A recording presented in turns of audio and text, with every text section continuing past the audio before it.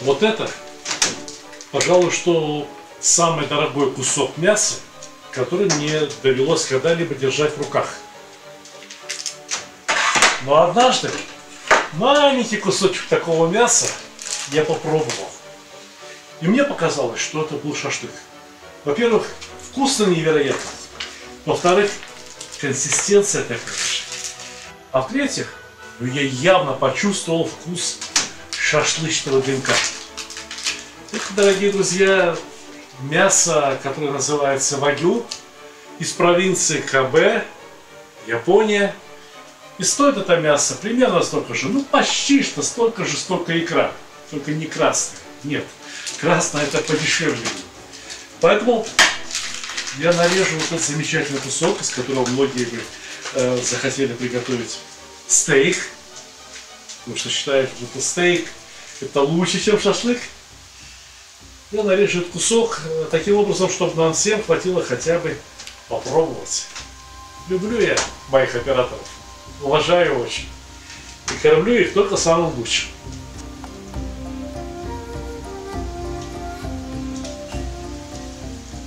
Мясо, которое режется ну, буквально как масло. Мясо очень жирное. Но могу сказать, что это наверняка еще не самая дорогая говядина вагю, потому что самая дорогая состоит из жира, в котором есть э, некоторые такие вкрапления мяса, мясных волокон. Так вот, вагю это те самые бычки, про которых наверняка слышали почти что все, которых там поят пилом, делают массаж, не знаю, что им еще, губы красят или нет, маникюр, педикюр. Вот это то самое мясо. Некоторые кусочки получатся чрезвычайно жирными, но я не думаю, что от этого они станут намного хуже. Об этом самом вкусном за всю мою жизнь шашлыке я рассказывал вам уже неоднократно. Говорил о нем в других каких-то роликах. И более того, я написал об этом шашлыке, о том, как его приготовили, о том, как я пошел на кухню выяснять секрет у шефа моей новой книги, которая называется «Сталик Видеобук». Так вот, то мясо было не просто присолено, хотя я понимаю, предвижу, что очень многие скажут, такое мясо, только соли, больше ничего, такое мясо мариновать, только портить.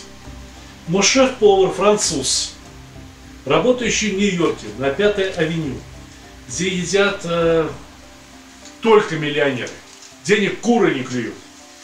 Понимаете? И более того, ресторан, который буквально через год после моего посещения занял третье место в мире, в этом ресторане мясо было замариновано. И было замариновано оно готовым японским маринадом. Вот мясо-то у меня есть, а японского маринада нет. У меня есть маринад для корейского блюда. Гальби. Гальби это мясо, приготовленное на гриле. И не просто мясо, а именно говядина. От ребрышек. В Корее считается, что ребрышки это самое лучшее мясо. Так вот, я не думаю, что мы слишком сильно испортим это мясо, если замаринуем его при помощи маринада для гальби маринад для говяжьих ребрышек. Ну, если у кого нет такого маринада, ради бога, возьмите маринад для мяса махеев. Кетчуп с майонезом можно смешать. Но на самом деле это не рецепт. На самом деле я просто еще раз хочу показать вам удивительную технологию приготовления мяса.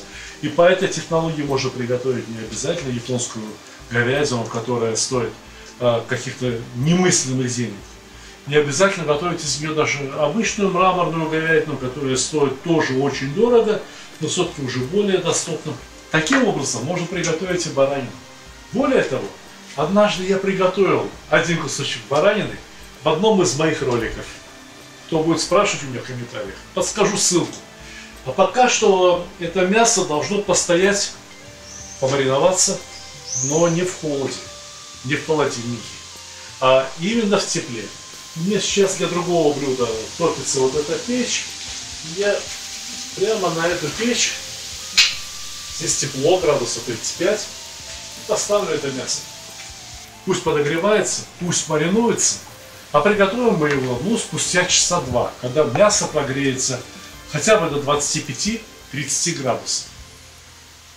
одна из самых дорогих для меня книг является книга «Плов». Книга «Плов. Кулинарные исследования». Почему же у этой книги такое название? Дело в том, что плов – это не одно единственное блюдо. Дело в том, что плов – это способ употребления различных продуктов вместе с рисом.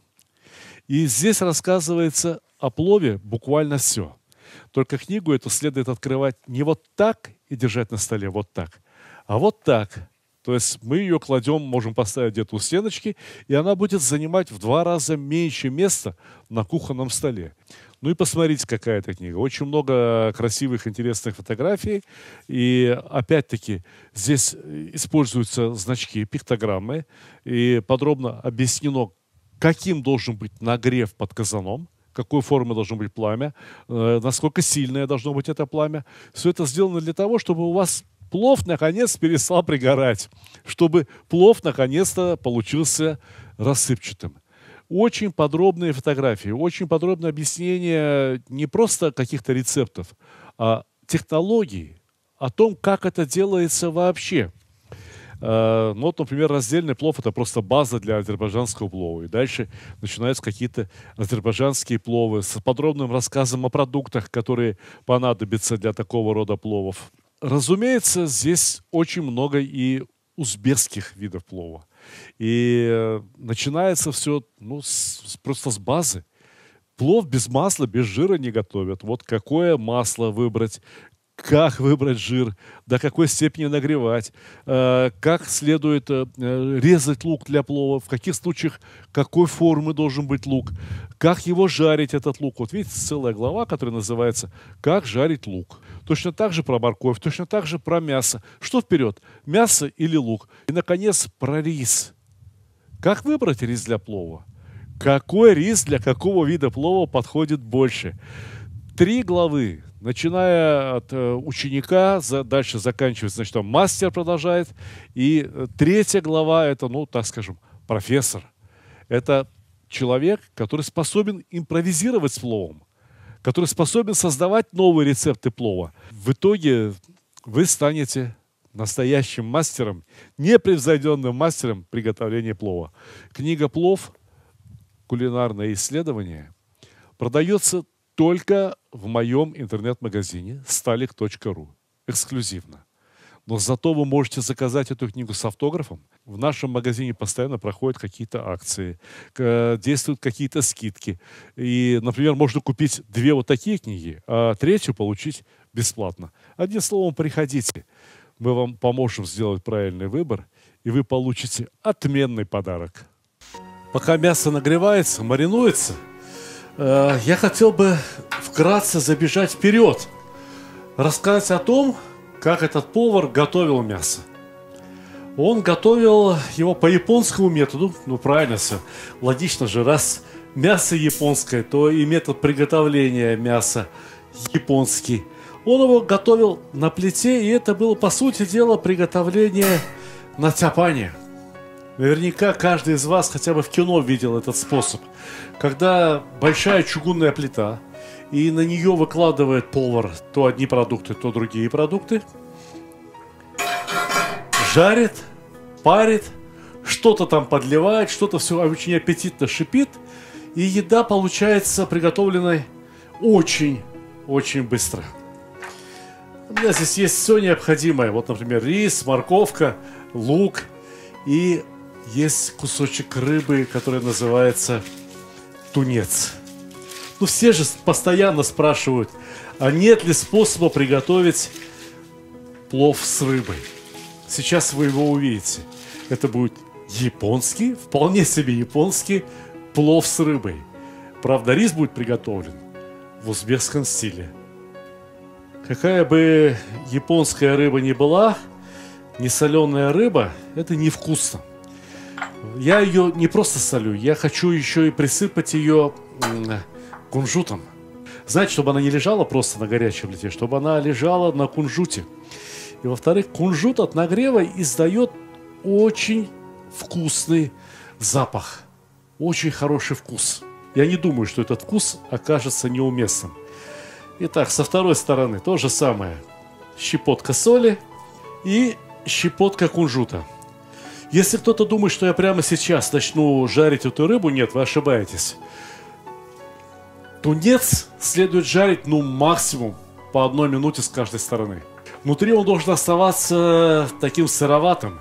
Если прожарить его насквозь, то это получится, в общем-то, серое, невнятное что-то. Но если пожарить тунца правильно, то он удивительным образом похож на очень дорогую, на очень вкусную говядину, которая у нас маринуется и греется. Вот эта большая, мощная чугунная плита, которая стоит у них в ресторанах, а, подогревается тоже достаточно интенсивно. За счет своей массивности она постоянно держит одну и ту же температуру, которую каждый мастер умеет подобрать ровно так, как надо. Наливаю немного масла. Э, моя небольшая, не очень массивная плита подогрета ровно так, как надо. И я выкладываю на нее лук. Да, потому что лук в плове готовится дольше всего. Но сегодня у нас э, жар достаточно интенсивный, плита собирает тепло со всей своей поверхности. И если где-то плита начинает остывать, то тепло к ней немедленно передается с остальных фрагментов плиты.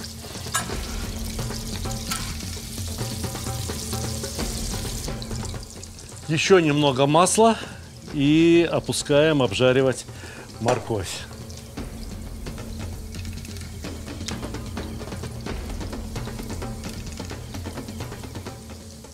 Понятное дело, что это не казан, поэтому надо постараться, чтобы каждый брусочек э, прикасался к дну сковородки, чтобы он получал тепло непосредственно от сковороды.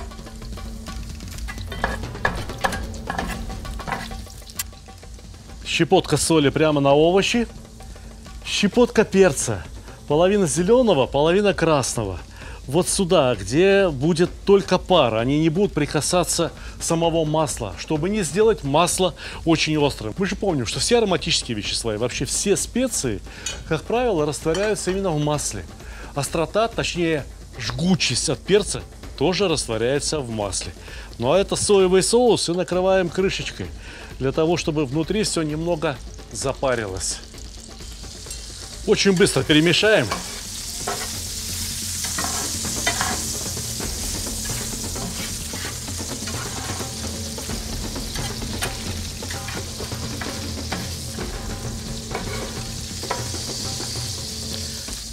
Я полагаю, что морковь, лук и перец практически готовы. Все это томилось под крышкой от силы 2 минуты. Но здесь количество продуктов очень небольшое, а тепла так много, что и двух минут приготовления вполне достаточно. Теперь прямо сюда, вот в это ароматизированное уже масло, я опускаю вареный рис. Вареный и остывший.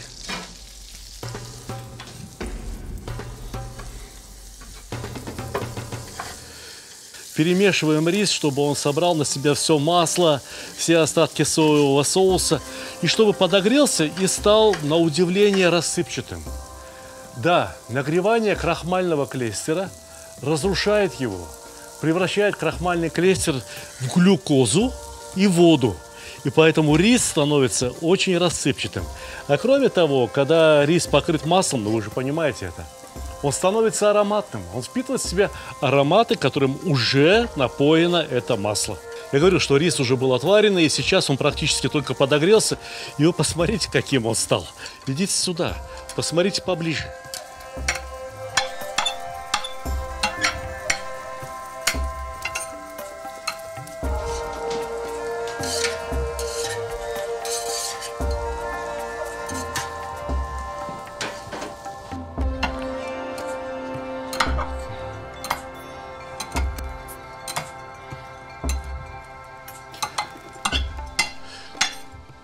Наверное, некоторые подумают, что морковь и лук пригорели.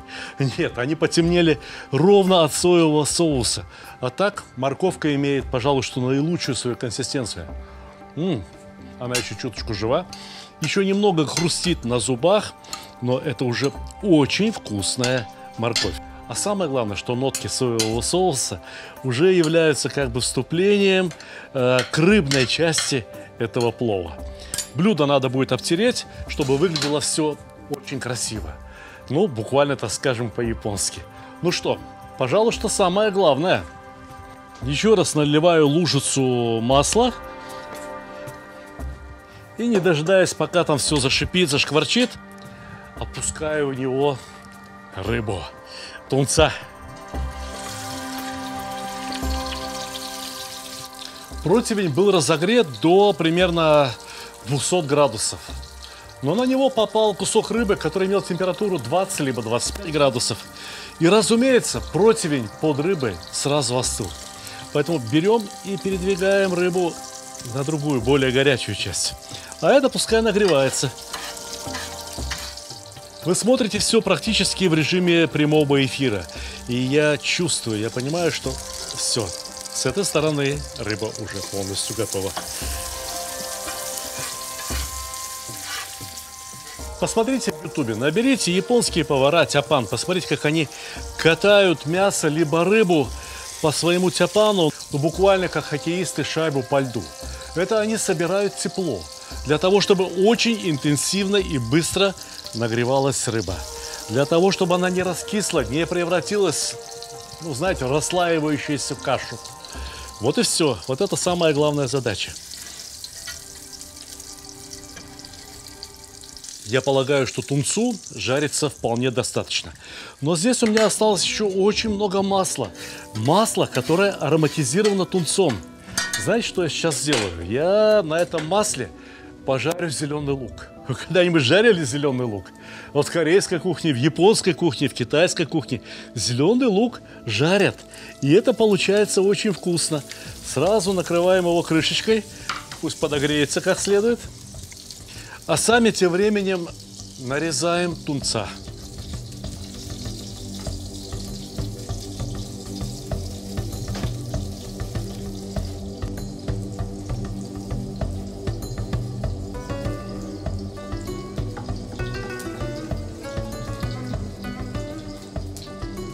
В английском языке существует термин seared, да, а по-русски ну, можно перевести как обжаренный. То есть тунец именно что обжаренный.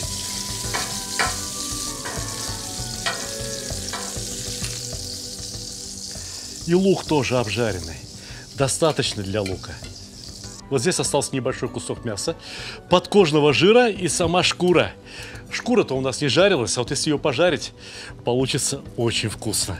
Шкуру можно пожарить достаточно крепко, до хруста, накроем ее крышечкой, пусть собирает там свой вкус. Знаете, вот эти кусочки рыбы можно вот так подровнять аккуратненько и разрезать пополам еще раз.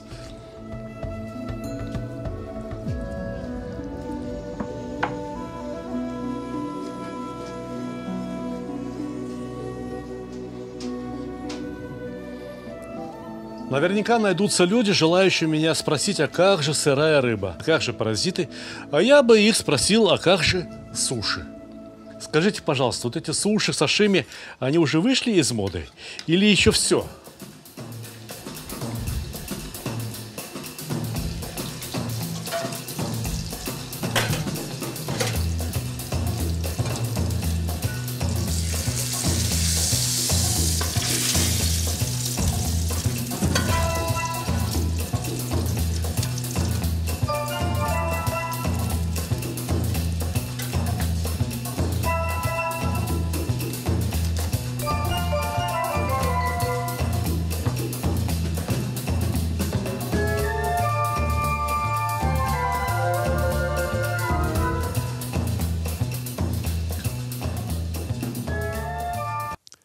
Моя самая новая книга называется «Сталик Видеобук». И я хочу вам рассказать об этой книге. У нее, видите, вот такая черная обложка. Но буквы блестящие, да еще и выпуклые, поэтому все видно. И, наверное, нет второй кулинарной книги с черной обложкой, да еще и на которой не нарисована никакая еда. Но эта книга вам очень понравится. Точнее, она уже вам очень нравится, потому что эта книга составлена по тем рецептам, э, которые были опубликованы в Ютубе и в других социальных сетях и собрали максимальное количество лайков, максимальное количество просмотров, максимальное количество новых подписчиков. Вот что такое эта книга. Здесь рассказано о массе самых популярных блюд. Хумус, холодец, не знаю, там э, цыплята табака, шурпа узбекская, каурма шурпа, каурма басбаш такой есть, азербайджанский суп, борщ, лагман. Одним словом, 75 рецептов. Из почти что тысячи блюд, которые я успел приготовить и опубликовать где-то в интернете. Гуляш, бешбармак, э, картофель фри. как, как без картофеля фри? Стейки, самса, шашлык, плов. Но здесь все собрано не по алфавиту, э, не разделено на какие-то национальные кухни. Здесь все рассказано так, чтобы вы умели составить классное домашнее меню из самых популярных, самых лучших блюд. Вот, например, чебуреки. Любите чебуреки? Еще бы вы не любили. 12,5 миллионов просмотров на моем канале собрал рецепт чебуреков. Книга «Сталик Видеобук» никогда не продавалась ни в одном книжном магазине. Ни на каких э, маркетплейсах, ни в каких других интернет-магазинах, потому что эта книга изначально э, продавалась только в моем интернет-магазине и продается только в моем интернет-магазине stalik.ru. Если вы закажете эту книгу с автографом, пожалуйста, э, мы упаковываем все книги как следует. И если вы закажете несколько книг вот из этого набора, то, может быть, одну книгу получите вообще бесплатно. На сайте постоянно происходят какие-то акции, скидки. Одним словом, заходите на сайт stalik.ru, и мы поможем вам сделать правильный выбор – и будем вам очень, очень рады. Итак, рыбный плов. Если кто-то мне скажет, что это невкусно, над тем я громко посмеюсь. А вот сейчас мы начинаем жарить шашлык из самого дорогого, пожалуй, что из самого дорогого на этой планете мяса. Я начинаю с жирных кусков. И надеюсь, вы понимаете, почему, да? Именно для того, чтобы не использовать растительное масло, а вытопить из этих жирных кусков хороший, очень вкусный говяжий жир. Обратите внимание, что я кладу куски мяса довольно далеко друг от друга. Если положишь близко, либо завалишь мясом всю сковородку, ну получится как всегда, тушеное мясо.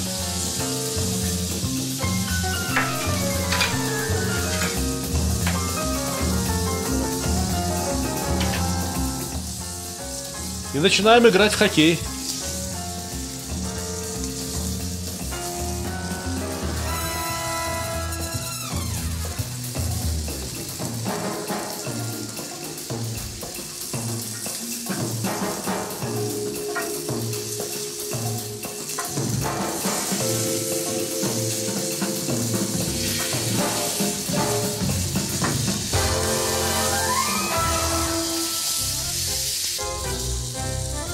Знаете, в одном из роликов, э, это был ролик о Шекинском пяти. Но это снималось не в Шеке, а вот здесь у меня дома. Удивительно красивый ролик, вы зря его не посмотрели. Я провел эксперимент. Я взял кусочек баранины, посолил его и опустил на плиту. И мне пришла в голову идея взять немного мясного бульона, плеснуть на мясо и немедленно накрыть его крышкой. И хочу повторить этот эксперимент, потому что тогда получилось очень вкусно.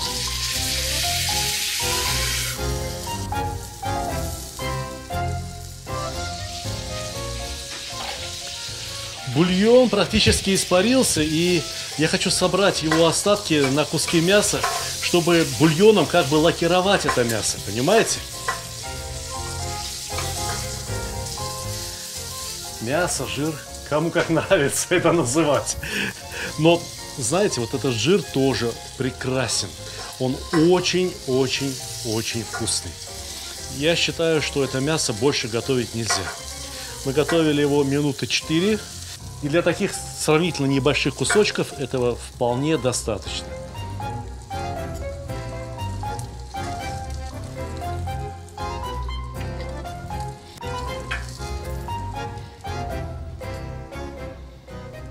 Ну, а теперь, собственно говоря, не жир, а само мясо. Отличные куски мяса. Точно так же кладу один подальше от другого.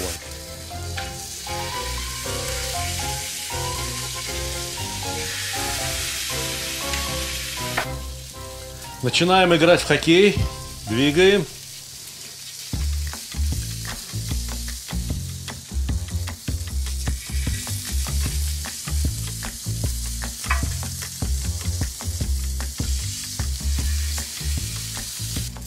Эти кусочки мяса можно пожарить со всех сторон, не обязательно с двух, они почти что кубики.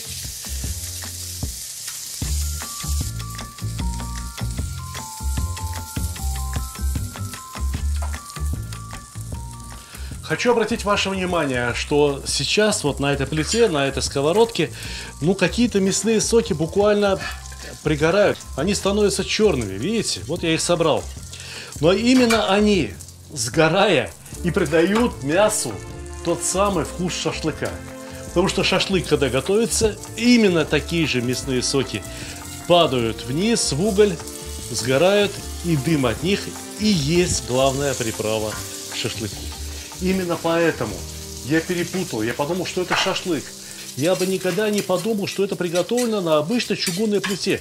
Ну, фактически, как на сковородке. Однако давайте повторим наш эксперимент с бульоном. То есть, попросту лакируем мясо.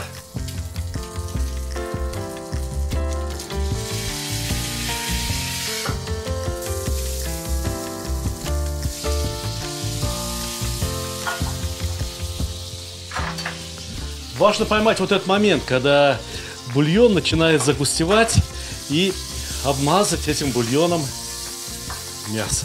Посмотрите, вот оно какое становится. Оно моментально краснеет.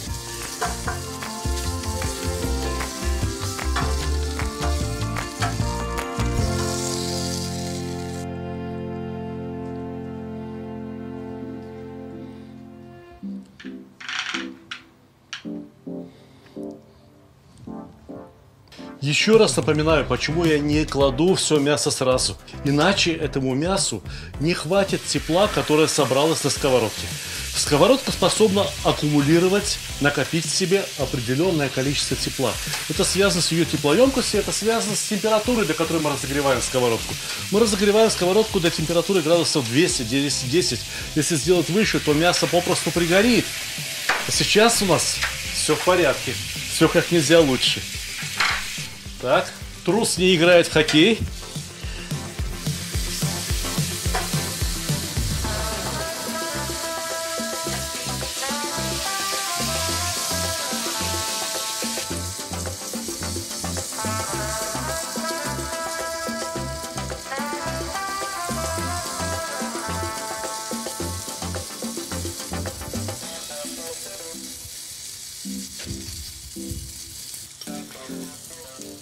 Дальше все будет продолжаться то же самое. По ложечке бульона, крышечкой накрыли, дали бульону сгуститься, обмазали в этом красном бульоне мясо и вынули его. Все, шашлык готов. Точнее, не шашлык, а что-то другое, что-то... Я не побоюсь этого слова. Что-то лучше, чем шашлык. Во-первых, потому что мясо здесь гораздо лучше, чем то, которое мы обычно используем для шашлыка. Вот именно про этих бычков-то и рассказывают, как их э, кормят какими-то особыми кормами, поят пивом, включают классическую музыку, массажируют. Одним словом, очень любят их, прежде чем приготовить из них вот такое мясо. Прежде чем побаловать миллионеров на Пятой авеню и на других улицах богатых городов мира.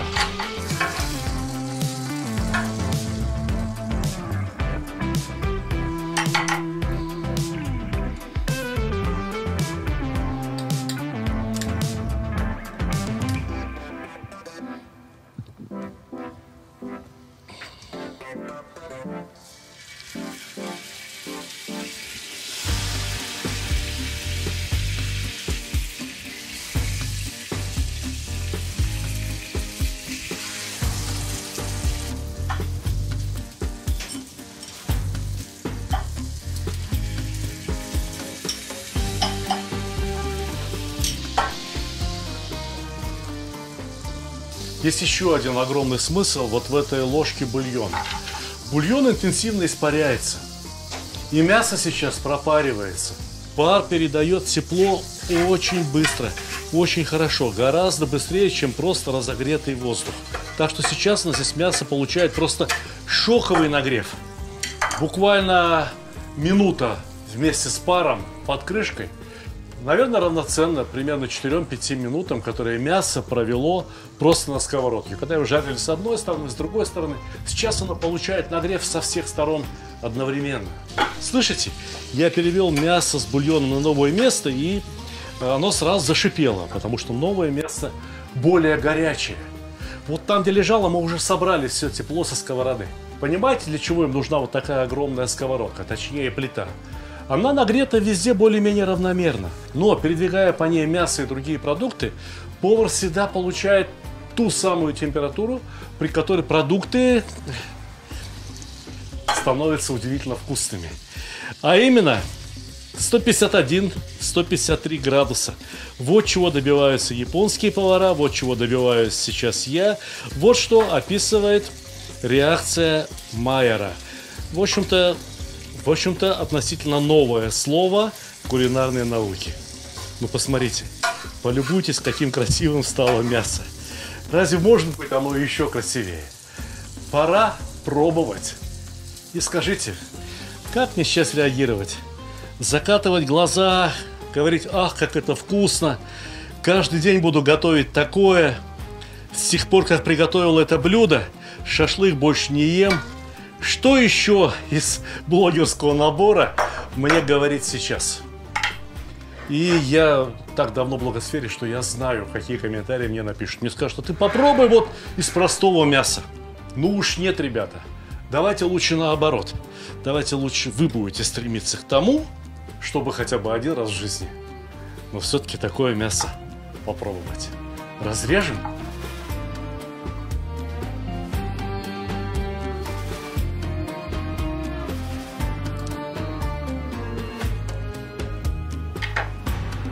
Жарить это мясо сильнее – преступление перед невинно убиенными бычками.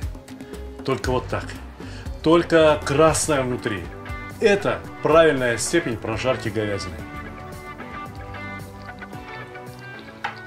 Знаете, 8 лет назад в том нью-йоркском ресторане я вздрогнул от роскошного вкуса. Сегодня мне чертовски мешает этот маринад не было бы маринада, было бы все просто супер. А так, ну, есть там можно.